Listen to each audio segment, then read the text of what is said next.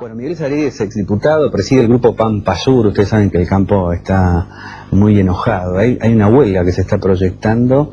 Que, ¿En qué consiste la, la huelga? Sí, es una huelga 22, 23, 24 y 25 de agosto, que es no mandar Hacienda a linear básicamente para que la gente sepa no práctico y, que se cierran un poco las tranqueras para mandar seriedad a los puertos y, básicamente Hacienda. Es una huelga que nosotros desde Pampa Sur, un poco acá, que son amigos a las confederaciones rurales y las entidades, le decíamos que era una palabra que no nos gustaba. La palabra paro en general en el campo y a algunos sectores nuestros de las ciudades no les gusta porque el campo no para, el campo sigue trabajando, la, naturaleza no, no para como si fuera una fábrica.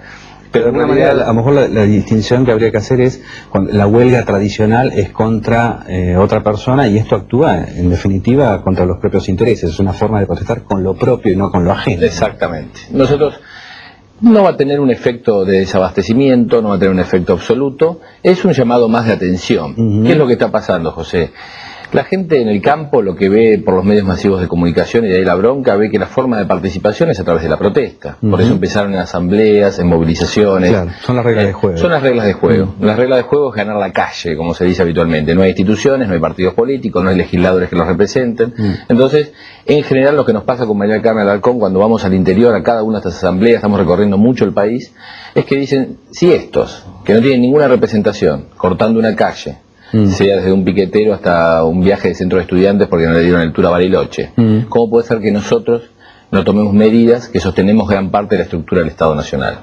Entonces, de esa manera, ese reclamo de los productores de base ha llegado a las entidades madres, en este caso a CRA, y CRA ha, ha decretado este paro para estos días, al cual nosotros acompañamos porque en general tratamos de que haya unidad en el sector productivo e intentamos no tener una actitud discordante. En estos momentos se necesita mucha unidad, así que los acompañamos y los ayudamos en la medida de nuestras posibilidades.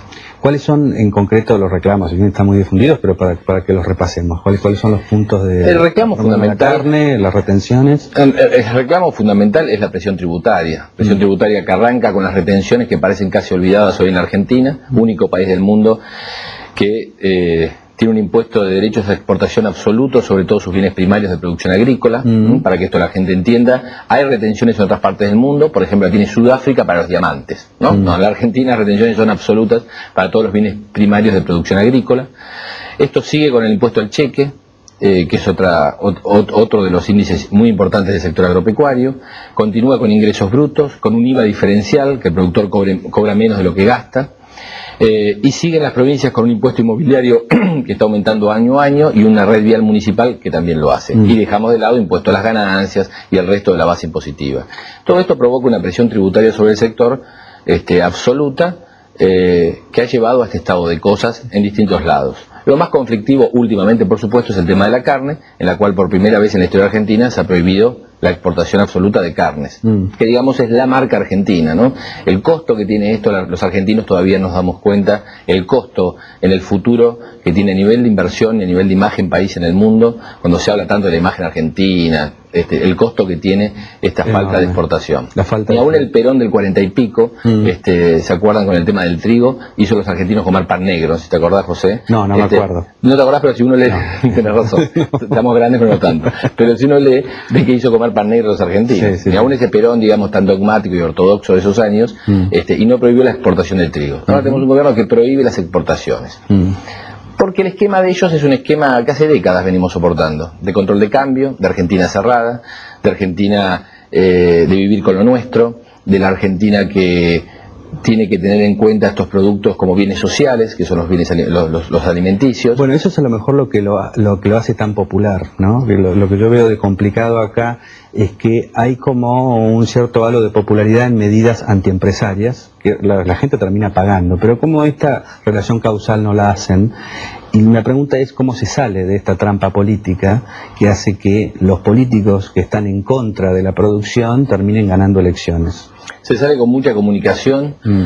Con mucha militancia política y comunicativa este, y un trabajo de base importante con la gente y explicándole al consumidor de las grandes ciudades que le bajó solo el 5% del precio de la carne mm. y al productor le bajó más del 30%.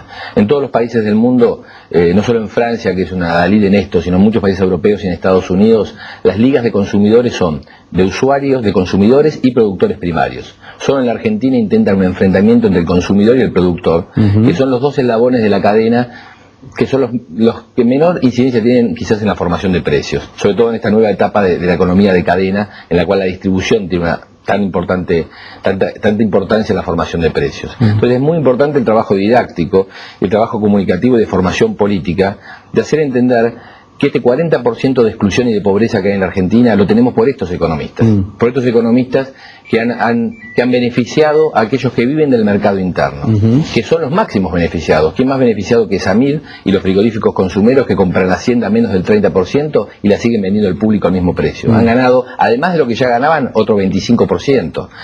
Eso, ah, yo creí que defendía al gobierno por amor al arte, ¿no? No, más que es intendente de la matanza, ¿sabes? Ah. en el fondo no sé si quiere mucho del gobierno, para nosotros es, este, es bueno que esté con el gobierno, pero eh, en realidad eh, es lamentable que todo esto lleve hasta Argentina deprimida, ¿no? Nosotros decimos, vemos a Nueva Zelanda, José, por ejemplo. Nueva Zelanda exporta el 90% de lo que produce. Es un país próspero, un país que exporta eh, y un país que puede sí subsidiar sus alimentos internos. Porque nosotros es tanta la ganancia, las ventajas comparativas internacionales que tenemos, que si producimos cada vez más y exportamos cada vez más, cada vez tenemos mayores recursos mm. para dejar nuestros alimentos más baratos. Esto ¿Qué, es lo que, ¿Qué es lo que hace que Nueva Zelanda sea Nueva Zelanda?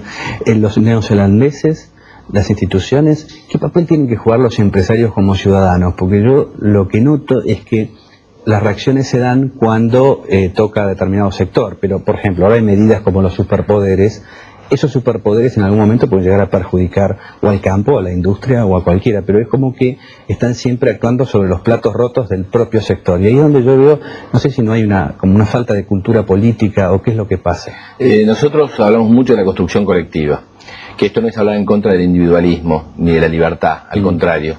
Cuando uno ve eh, el, papel de los empresarios a veces indignos en la mm. Argentina, en la cual tienen que someterse a funcionarios como Guillermo Moreno, que los humilla, porque lo hemos, lo hemos visto nosotros, mm. nadie me lo tiene que contar, eh, uno ve la indignidad en la Argentina que, el empresario tiene que soportar y lo sigue haciendo, ve la falta de construcción colectiva que tenemos en la Argentina y vamos a compararlo con Estados Unidos, allí donde hay, hay una voluntad de, trabajo colectivo. Mm. Esto no significa, insisto, en contra del individualismo, del capitalismo ni de la libertad. Mantenimiento de sistemas. Significa un mantenimiento de normas y de reglas y de que cada uno este, tiene un papel que hacer en la sociedad y lo cumple acabadamente. Ahora vos mencionaste el caso de Guillermo Moreno, que es claro, ¿no? Es una persona que hasta eh, tiene una retórica violenta y demás.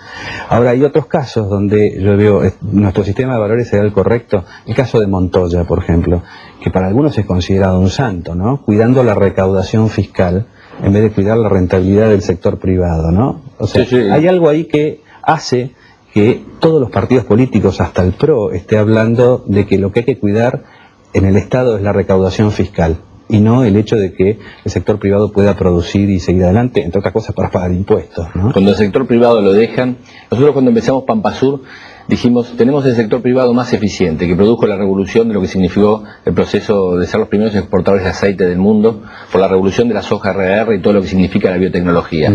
Ahí en esos años que se dejaron al sector privado aumentar, tenemos el sector privado más eficiente, ¿no? que hasta los farmas norteamericanos vienen a ver productores argentinos y empresas de la cadena agroalimenticia argentina.